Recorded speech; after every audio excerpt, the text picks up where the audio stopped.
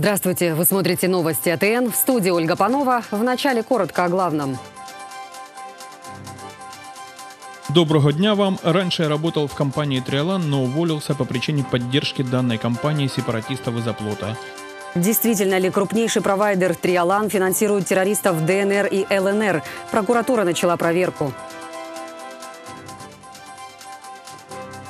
Я требовала, чтобы меня перевели из Полтавского СИЗО в Харьковское по одной простой причине, что вот э, прокурор Лымарь так до сих пор и не привел ни одного аргумента, ни одного факта, почему меня, харьковчанка, держат в Полтавском СИЗО в другой области. В Харькове началось рассмотрение дела Терезы Ларисы Чубаровой. Да, все через интернет. Они смотрят в интернет, в YouTube, и там смотрят, даже предложения в интернете есть, не делают. И все через интернет. Отец террориста-смертника, подорвавшего себя и сотню людей в Ираке на прошлой неделе, заявил, что сын был завербован террористической организацией ИГИЛ в Харькове. Теперь подробнее. Действительно ли крупнейший харьковский провайдер «Триолан» финансирует террористов ДНР и ЛНР? В сети появилось видео, которое демонстрирует, как люди в форменных жилетках обсуждают свою добровольно-принудительную благотворительность в пользу оплота. В прокуратуре уже начали проверку.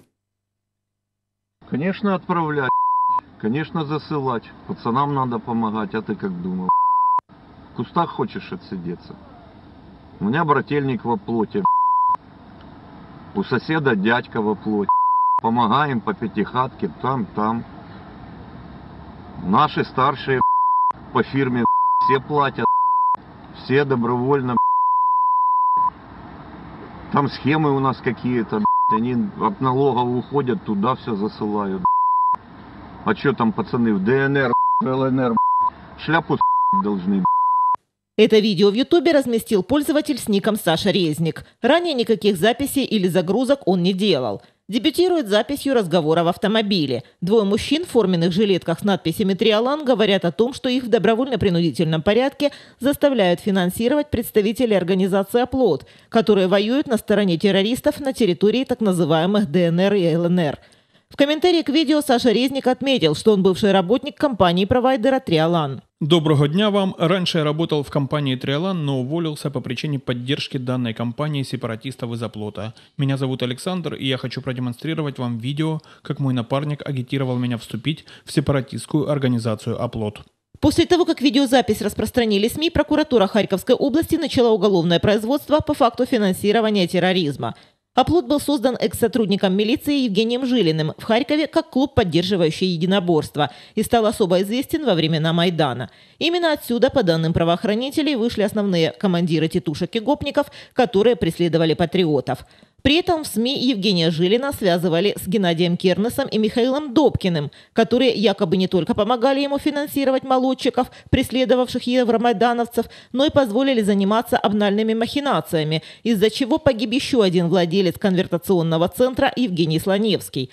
После бегства Януковича Жилин, по данным следствия, также сбежал в Россию, где из своих бывших сторонников создал бандформирование с тем же названием, которое сейчас и воюет на стороне террористов ДНР – Сейчас Жилина разыскивают спецслужбы. Дело о возможном финансировании его отряда украинскими предпринимателями также будет передано службе безопасности, говорят в прокуратуре. Звісно, ми одразу відреагували на такі публікації. Е, Дані були внесені в єдиний реєстр досудових розслідувань за частиною першої статті 258 примітка 5. Це е, фінансування тероризму. Найближчим часом е, це кримінальне провадження буде передано за підслідністю. Це підслідність Служби безпеки України в Харківській області. При этом никаких официальных комментариев в фирме «Триолан» новостям АТН получить не удалось. Бывшие сотрудники фирмы, в том числе экс-чиновник Горсовета Роман Сальников, которого сейчас подозревают подозревают в получении взятки, уверил, что связь с руководством предприятия давно потерял. Хотя в СМИ эту фирму все так же связывают с мэром Харькова Геннадием Кернесом. В частности и потому, что этот провайдер в свое время получил немалые преференции на харьковском рынке интернет-услуг, а его руководители – места в органах местной власти. При этом стоит отметить, что это не первый случай, когда эту компанию связывают с оплотом. В 2014 году в сети появился документ, свидетельствующий об источниках финансирования организации «Оплот». Речь шла о счете-фактуре, в котором указывается, что ООО «IT-сервис», предприятие, которое по данным СМИ входит в группу компании «Триолан», перечислило финансовую помощь в пользу сепаратистов из «Оплота». Однако в дальнейшем эта информация не была реализована правоохранителями. Марина Николаева, Владимир Борох, агентство телевидения «Новости». Харькове начали рассматривать по сути дело Ларисы Чубаровой по прозвищу Тереза.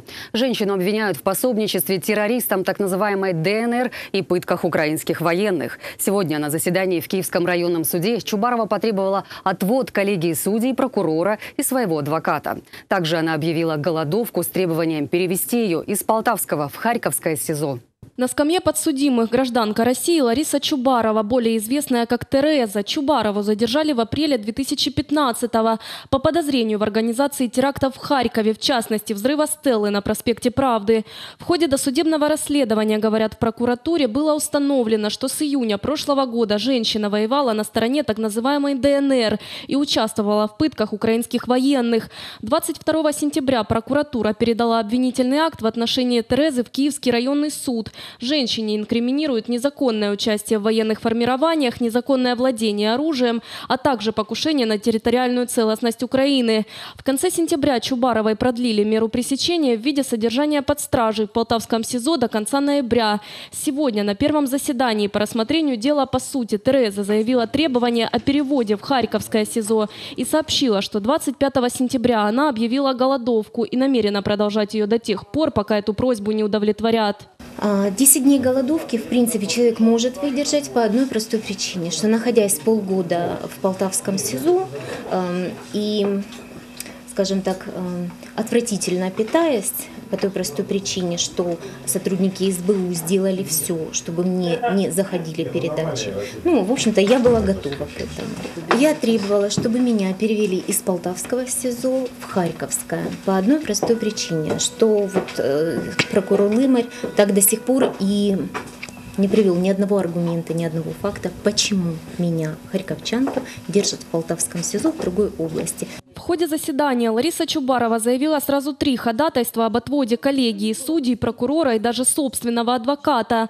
По словам Терезы, со стороны защитницы она не получила адекватной помощи. Кроме того, адвокат не может осуществлять защиту так, как просит обвиняемая. Ходатайство относительно отвода прокурора Чубарова обосновала якобы его личной заинтересованностью в конфискации имущества подсудимой. Повышенный интерес данного прокурора – к моей частной собственности, в частности квартире, которая находится в самом центре Харькова. Об этом факте говорит его запрос в БТИ от 3.04.2015 года, в то время как задержали меня 6.04, то есть задолго до того, как мне было предъявлено подозрение по статье, предусматривающей конфискацию. Прокурор Владимир Лымарь такие обвинения называет вымышленными. Нет никакого интереса, естественно. Я выполняю свои должностные и функциональные обязанности. Я занимаюсь процессуальным руководством по данному уголовному делу, по, по данному уголовному производству. А то, что Чубарова обвиняет меня в чем-то, в какой-то заинтересованности, это все ее домыслы, больше ничего. После совещания коллегия судей приняла решение не удовлетворять ходатайство Терезы по отводу коллегии прокурора. Оснований для этого в Киевском районном суде не увидели, а вот требование о смене защитника было удовлетворено, учитывая конфликтную ситуацию между адвокатом и обвиняемой. Несмотря на то, что в прокуратуре изначально выступали против смены защитника, окончательным решением суда все же остались довольны. До того, как выступила защитник и которая тоже высказала свое заявление о том, что она не хочет участвовать и не может участвовать в дальнейшем рассмотрении уголовного а, производства по подозрению Чубаровой, а, я высказал свою позицию.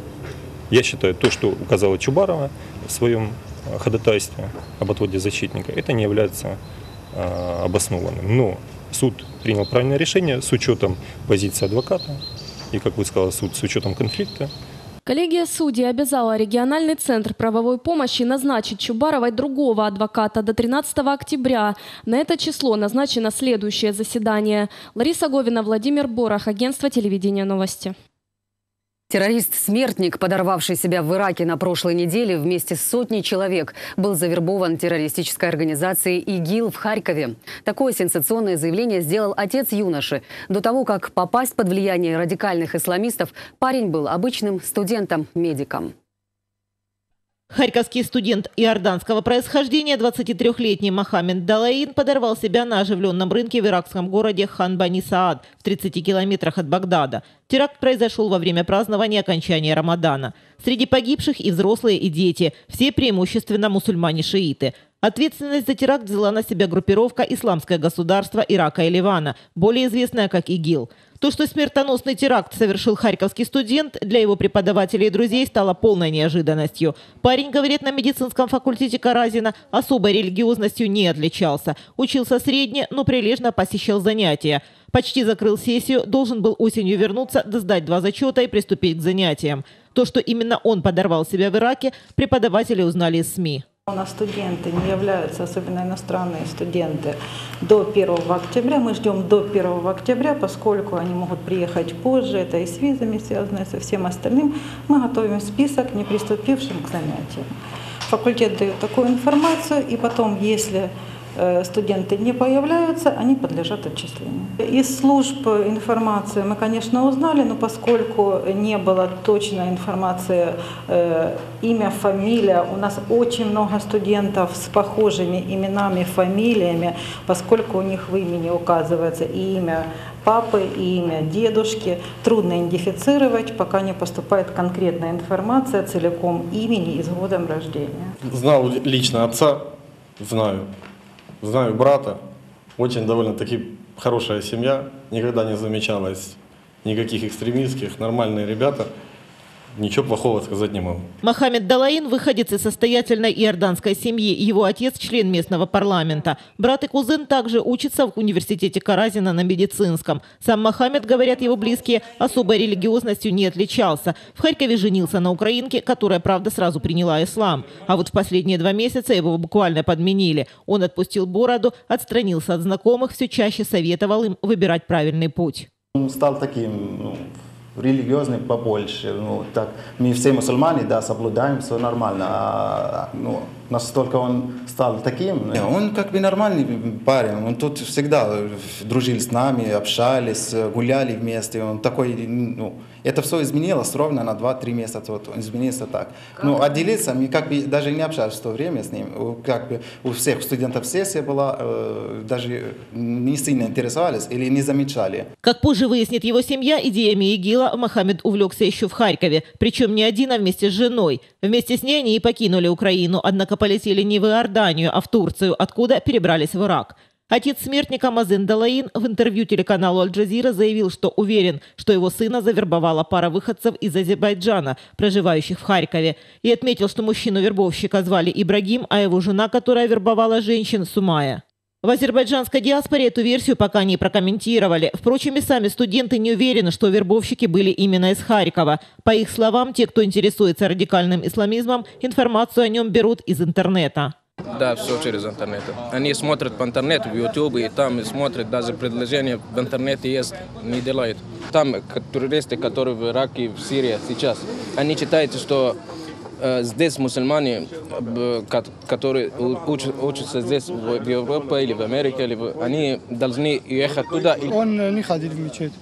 Я слышал, другов сказали, что он каждый день в клуб ходил, пил алкоголь и наркотики. Да. Не знаю что. Это не считается э, настоящие мусульмане. Такие настоящие мусульмане так. Да, да. да, да. Кто-то кто играл с, например, говорили с ними, давай так делай, что потом ты, когда будешь убивать плохие люди, вы будете в рай или но это настоящие мусульмане так не делают. Студенты-мусульмане не скрывают, они осуждают тот путь, который выбрал Мохаммед. Марина Николаева, Александр Проценко, агентство телевидения «Новости». Вы смотрите новости АТН. Далее в нашем выпуске. Но это просто всего лишь циферка. Все равно люди понимают, за кого они голосуют. У каждого есть свои какие-то предпочтения. В Горосберкоме определились с расположением порядковых номеров 20 политических партий в избирательном бюллетене. С этим пакетом абсолютно ничего не случилось. Он как был, так и остался. Нигде ни жучок его не съел, ни травиночка его не повредила. Необычный, но очень наглядный эксперимент провели харьковские студенты-экологи. Подробности через несколько секунд.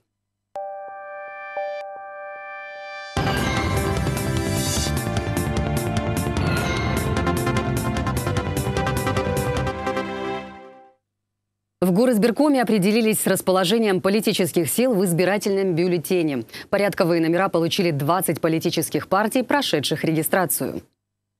Вместо шариков спичечные коробки с номерами внутри. Распределение мест в избирательном бюллетене происходит в два этапа. Сначала представители политсил, идущих на местные выборы, определяются с тем, кто за кем будет тянуть жребий, а затем приступают уже к жеребьевке. Представитель каждой из политсил подходит за заветной коробочкой. За отсутствующих ответственный выбор делает один из членов комиссии. Ее рука оказывается счастливой. В начале жеребьевки уже определено первое место в списке. Четвертая сила людей. Тоже моя. Тоже немає.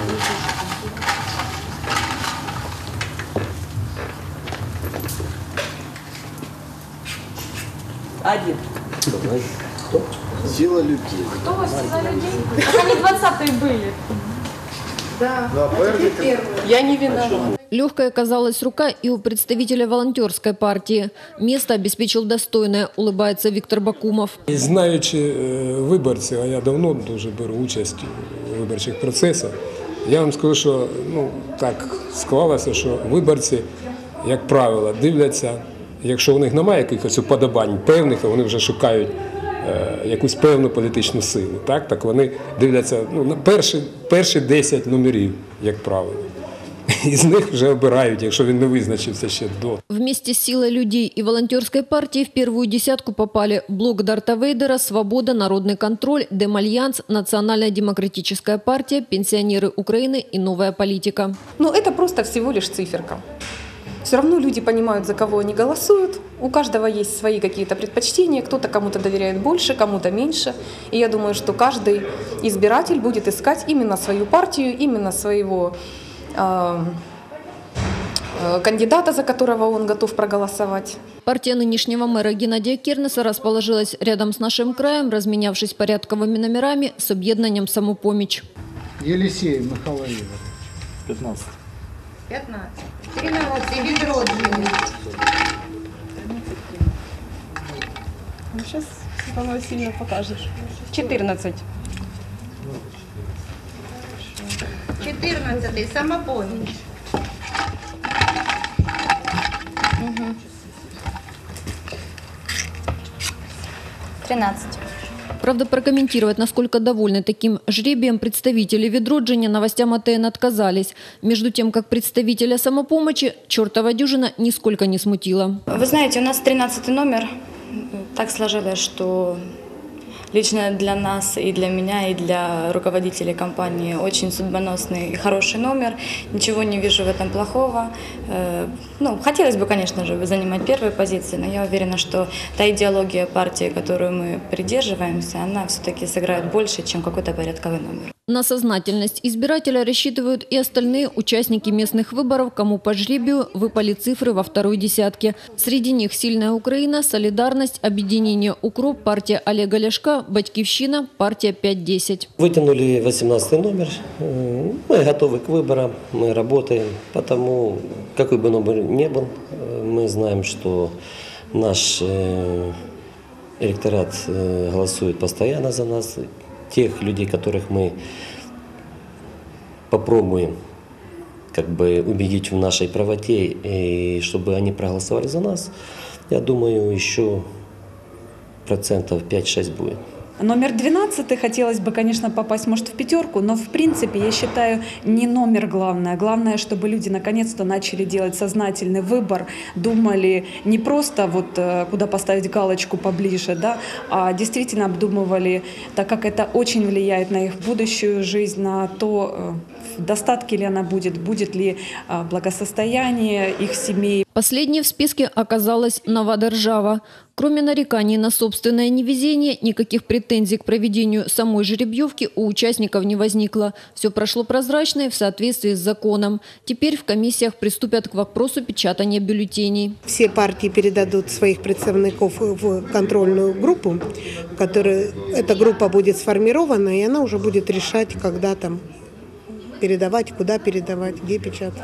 По Харькову в Горсовет будет избираться 84 депутата по 84 округам. Информацию о том, какие кандидаты по каким округам баллотируются, можно будет посмотреть на сайте ЦИК в разделе «Местные выборы». Там же доступна информация и о претендентах на кресло городского головы. Они в соответствии с законом в бюллетене будут располагаться в алфавитном порядке. Оксана Нечипаренко, Владимир Борох, агентство телевидения «Новости». Малый и средний бизнес ищет взаимопонимание с будущими кандидатами в мэры. Предприниматели считают, что лучший мэр – это выходец из их среды, который понимает важность поддержки малого и среднего бизнеса. Тарас Ситенко стал первым из кандидатов в мэры Харькова, который подписал с руководителями ассоциаций и профсоюзов меморандумы о сотрудничестве в сфере поддержки малого и среднего бизнеса. Фактически сегодня бизнес э, делегирует э, Тараса Александровича от э, себя в избирательную кампанию как кандидата на пост Харьковского городского головы. А, первый кандидат, который действительно от бизнеса, подписал меморандум. Ситенко видит перспективы успешного функционирования городского хозяйства в максимальном диалоге с громадами. Также он сторонник профессиональной децентрализации. Предприниматели должны взять на себя функции большинства государственных служб. Аккредитация, лицензирование, э, сертифицирование максимально должно отдаваться именно профессиональным организациям, объединениям. Поэтому э, максимальный диалог э, с громадами, максимальное э, делегирование полномочий и функций туда – это то, чем, чем будет руководствоваться и фракция самопомощи, я лично на, пост, на посту мэра. Представители же среднего и малого бизнеса уверяют, что готовы нести бремя ответственности в управлении городом. Антон Сушкин, Андрей Домовой, агентство телевидения «Новости». Харьковские предприниматели ждут поддержки политиков. Свои требования к будущим представителям местной власти они оформили в меморандум и предложили его подписать тем, кто хочет представлять интересы харьковчан в местных советах.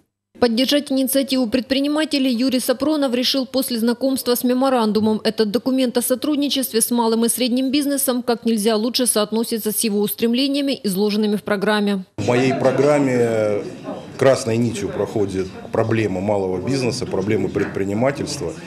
И город и предприниматели заждались, что город будет открытым, справедливым будут условия работы, прозрачные будут все тендеры, все, что связано с малым бизнесом и предпринимательством. Я абсолютно уверен, что в условиях кризиса, в сегодняшних условиях, город может вытащить и двигателем города, драйвером городской экономики может выступить только малый бизнес и предприниматель.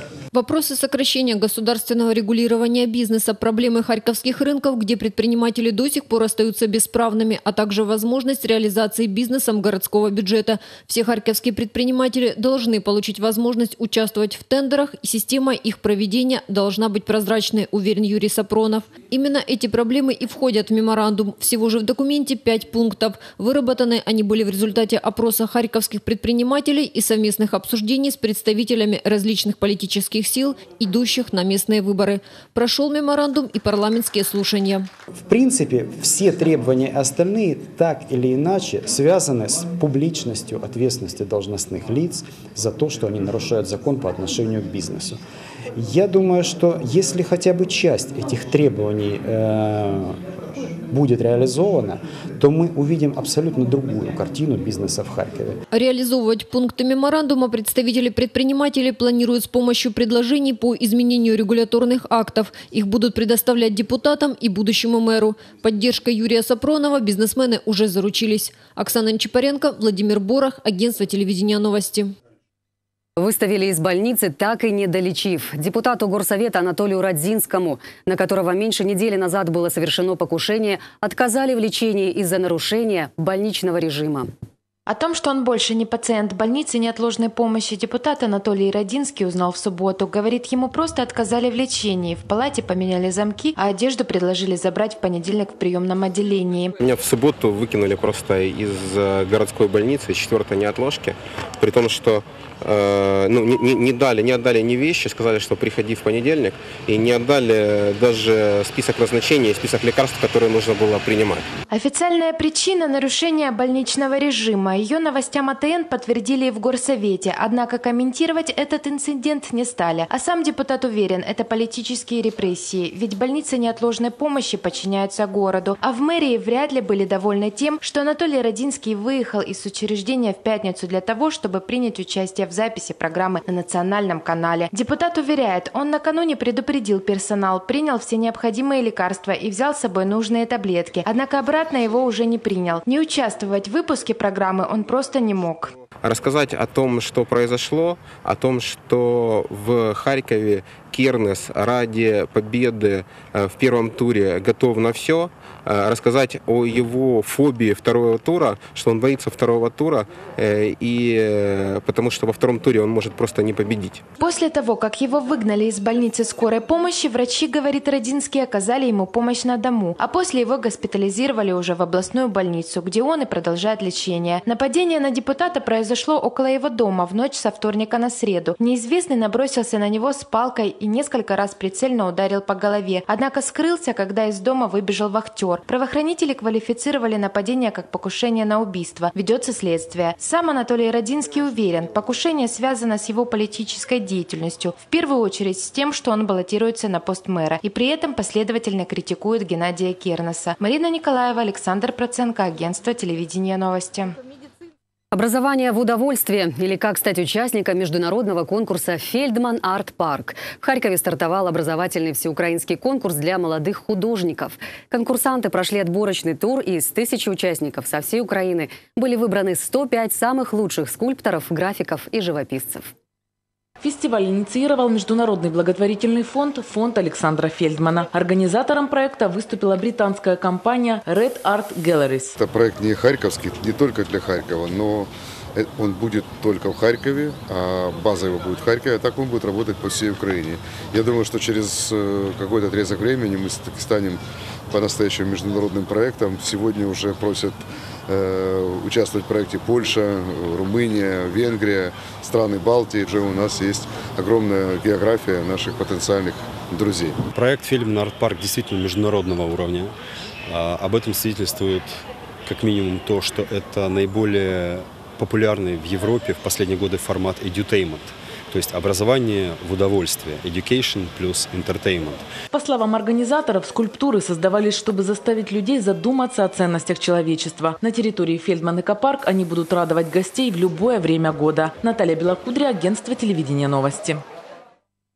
Экологический эксперимент длиной в три года. Студенты-экологи Харьковского национального университета гражданской защиты Украины в 2012 году решили проверить на правдивость рекламные обещания относительно биопакетов. И на территории вуза закопали два пакета – обычный и биопакет. Спустя три года провели контрольные раскопки. Пластиковые пакеты для мусора, которые каждый из нас выносит из дома на улицу, чтобы потом отправить на свалку, не являются безопасными для окружающей среды. И главный их недостаток в том, что они биологически не разлагаются. Это доказали студенты факультета техногенной экологической безопасности Университета гражданской защиты в Харькове. В 2012 году их преподаватель предложила провести самый простой эксперимент – закопать пакеты двух образцов на глубину полметра, а через три года проверить правдивость мифа о естественной утилизации пакетов с отметкой «био». Она буквально приехала в институт и сказала, знаете, девочки, я была в супермаркете, купила вот пакет био, а давайте попробуем.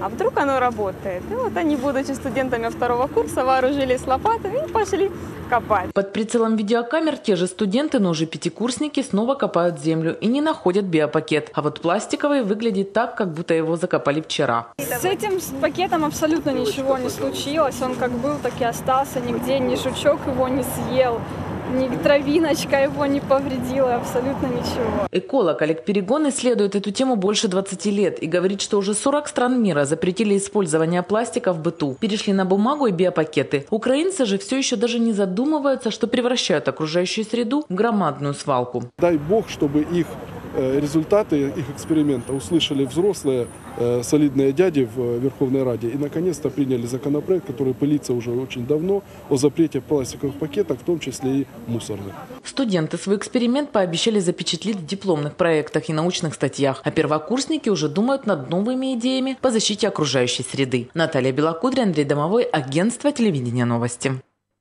Таким был вторник, 6 октября. Больше новостей на нашем сайте atn.ua. В студии работала Ольга Панова. Всего доброго и до встречи.